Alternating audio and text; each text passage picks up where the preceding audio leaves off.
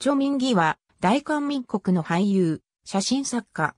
1982年に劇団、新京の団員として演劇俳優デビューを果たす。1991年に映画、死の賛美の助演俳優として映画デビューした。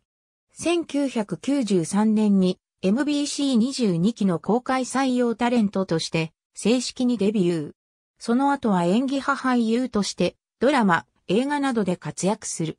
2005年、写真作家として活動を始め、多くのグループ展やアートフェアに出展。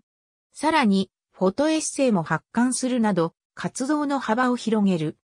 2001年から清州大学公演劇学科で兼任教授として講義をし、2010年3月からは正式に助教授として採用され、2015年には副教授として在籍。2018年2月20日、清州大学校の匿名掲示板に、ある学生がセクハラの事実を暴露する文章が掲載されるが、事実無根だと否定する。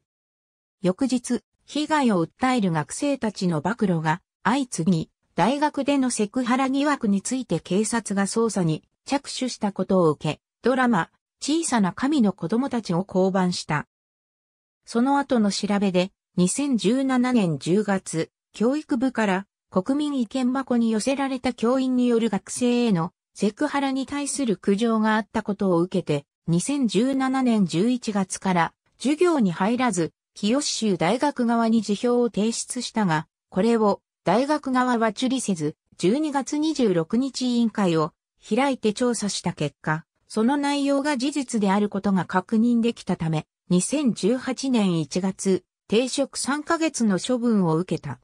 2018年2月26日、所属事務所、ウィルエンターテインメントが専属契約を解除したことを公式発表した。翌日、全所属事務所を通して公式謝罪文を発表した。2018年2月28日、大学側へ辞職届を提出し、胃がん免職となる。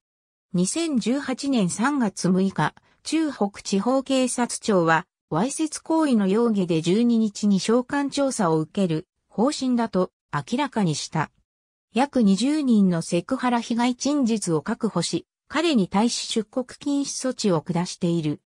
2018年3月9日、午前、外出中だった妻に、風に当たってくるというメッセージを送った後、連絡が取れなくなった妻は、地下駐車場内にある倉庫の鍵が2個のうち1個なくなっていることに気づく。午後4時5分頃、ソウル特別市広津区の自宅マンションの地下1階倉庫で首を吊った状態で夫人が発見した。午後5時頃、救急車で建国大病院に到着した時には、すでに亡くなっていた。亡くなった場所から遺書が見つかり、自殺と断定した。ありがとうございます。